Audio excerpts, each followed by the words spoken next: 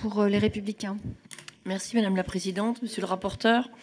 Alors que la loi sur l'extension du don de jours de repos aux aidants vient d'être promulguée, nous voici à nouveau amenés à examiner un nouveau dispositif en leur faveur.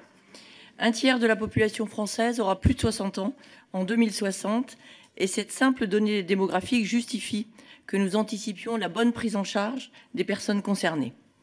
Le maintien à domicile est un souhait de plus en plus prononcé et dans les cas où c'est encore possible, le recours à l'aidant familial constitue une solution économique privilégiée qu'il nous faut accompagner, en levant plusieurs écueils que nous avions évoqués lors de la mission Flash sur les aidants. Écueil de l'absence de statut et de formation adaptée, du manque de souplesse pour les aidants actifs, de l'inexistence de modules de soutien psychologique, autant de points qui impactent les aidants tant sur le plan moral que physique. Nous avions aussi abordé le problème de la rétribution des aidants, qui fait l'objet d'une réponse du présent texte, qui propose de créer une allocation journalière pour indemniser le congé de proche aidant. Tout le monde s'accorde sur cette nécessité et nous avons tous à cœur ici de soutenir ces personnes qui consacrent leur vie à leurs proches dans des conditions souvent très difficiles.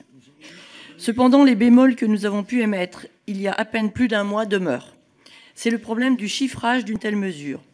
À ce jour, nous ne disposons d'aucune donnée pour estimer le taux de recours à ce congé et nous sommes donc dans l'incapacité d'établir un prévisionnel qui tiendrait compte de l'effet d'entraînement qu'occasionnerait la mise en œuvre de ce dispositif.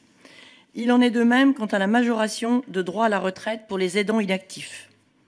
De plus, l'article 3 introduit un conflit qui se démarque de l'état d'esprit de consensus qui semble être le nôtre sur ces questions en marquant une inutile méfiance envers les employeurs, auxquels on retirerait la possibilité de participer au processus d'extension du domaine du congé. Nous sommes d'accord sur l'essentiel.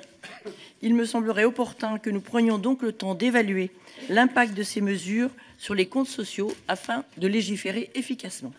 Je vous remercie. Merci Madame Dubier.